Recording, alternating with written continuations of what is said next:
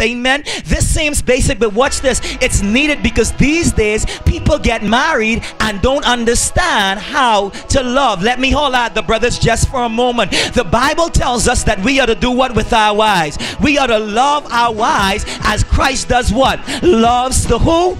the church. And what did he do for the church? He gave himself for her. How did Christ love the church? He gave himself for her. Amen. He didn't say, amen, that he gave his, his life for the church when the church was good. Because we know that the Bible says while we were what? Yet what? Sinners. Christ came and he did what? Died for us. So fellas, here's the principle and y'all let us get this. He didn't say love your good wife.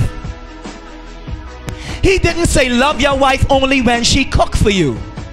He didn't say love her when she clean. No, he says, I want you to love that woman not some of the time. I want you to love her all the time. Amen. I want you to love the premenstrual wife. I want you to love the menstrual wife and the post-menstrual. And y'all know, fellas, let me just get to us about this menstrual. Amen. Because you know the menstrual wife. It's hard to love the menstrual wife. That's that woman, amen, that come out all the time. Every night she just so mad and, and aggravated. She come out with her hair curl all up. Amen. And curl it. She got stuff all over her face. And she get that gown on that say click click. You ain't getting none tonight. Amen. And the minute you try touching her, amen, she look like something off of the Exorcist. She's spinning her head around. Amen. And you just saying, you know what? Forget about it. Amen. But can I tell you, amen, God says, husbands, I don't care what it takes. You have a duty and a responsibility to love your like she's your queen and that she's special to you,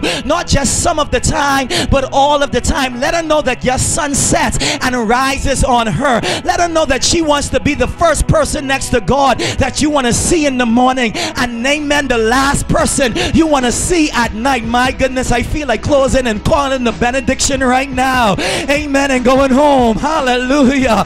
Amen. But let her know, amen, that you love her. Hallelujah. Let her know that she's special to you. Amen. Let her know, amen, that, amen, you want to be with her all the time, man. Just like Brother Prince in that video. Amen. Make up pet names for her. Amen. Call her boo boo, hoodoo, whatever you do. Amen. Call her baby, sweetie, sugar pie, dumpling. Man, let her get tired of them pet names. Amen. Why? Because what it does is you telling this woman, man, I love you. Hallelujah. Amen. Whatever floats your boat and sails hers, man, y'all just do it. Amen. Why? Because you want her to know that you love her. Hallelujah. Amen. And so here it is. Amen. When you love her, here's what you do. Amen. You don't just say it, you do it. Somebody say, do it.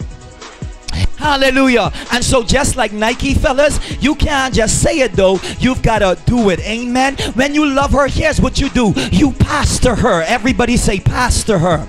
Amen. Can I tell you when you love her, you speak words of encouragement to her. Amen. You speak over her life. When she's down, amen, you find words to bring her up. Amen. When she's confused, you ask God to give you the word. Amen. To give her clarity.